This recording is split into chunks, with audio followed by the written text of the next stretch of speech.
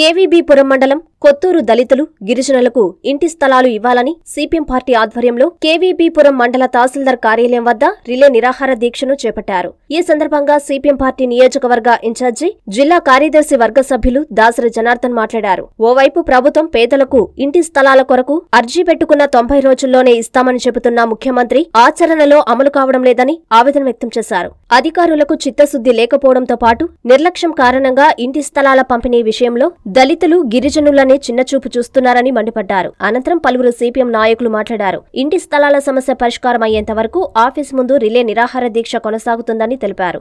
ఈ కార్యక్రమంలో CPM party మండల కార్యదర్శి నాగలాపురం నాగరాజు ఐద్వా మండల కార్యదర్శి వరలక్ష్మి కొత్తూరు మహిళలు పాల్గొన్నారు. ఇంటి స్థలాలకు స్థలాలు లేవనే సాగు చూపించి ఈ రోజు ప్రభుత్వ అధికారులంతా కూడా అక్కడ రిజెక్ట్ చేస్తున్నారు ఆన్లైన్. కాబట్టి మళ్ళీ రెడ్డిచ్చం మొదలుతున్నట్టు రెవెన్యూ సిబ్బంది యొక్క నిర్లక్ష్యం కారణంగా గుంటూరు దళితులు కానీ గిరిజనులు కానీ ఇప్పుడు కూడా ఇంటి పట్టాలు స్థలాలు ఇవ్వకపోవడం వల్ల ఈ రోజు గత్యంతరం లేని పరిస్థితుల్లో ఈ ప్రభుత్వం వచ్చి నాలుగున్నర సంవత్సరాలు గడిచినా కూడా ఇంటి స్థలాలు ఇంకా రావేమోనని ఆందోళన చెందుతూ ఈ రోజు నిరాహార దీక్ష చూడడం జరిగింది. దీనికి సిపిఎం పార్టీ వాళ్ళకు పూర్తిగా మద్దతునిస్తూ ఈ రోజు ఈ కార్యక్రమాల్లో మేము పాల్పంచుకోవడం జరిగింది. కాబట్టి రెవెన్యూ అధికారులు ఇకమేటైనా కూడా తక్షణమే స్పందించి పొత్తులు దళితులకి గిరిజనులకి ఇంటి అక్కడున్న అక్కడ ఉన్న ప్రభుత్వ భూములు అన్యాక్రాంతం అవుతున్నాయి డీకేటీ భూములు ఉన్నాయి గవర్నమెంట్ ల్యాండ్స్ కూడా ఉన్నాయి అక్కడ.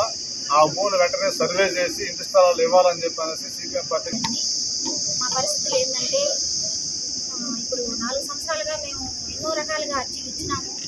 కానీ మాకు ఏ రకంగా గాను మాకు చేయట్లేదు. ఇచ్చిన అర్జీలు కూడా రిటర్న్ తీసేస్తున్నారు.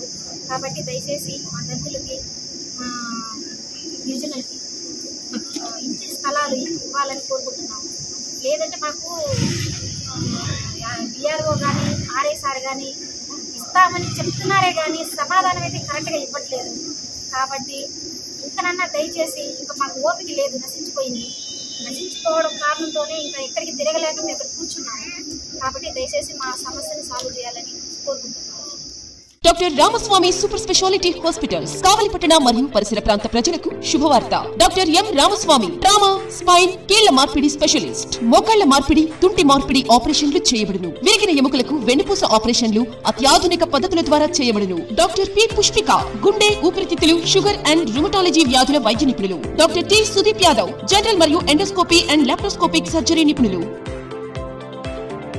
హెర్నియా పేగు జారుట ఇరవై నాలుగు గంటల పేగు హైడ్రోసెల్ ఆపరేషన్లు చేయబడును. వెంటిలేటర్తో కూడిన అధునాతన intensive care unit ICU.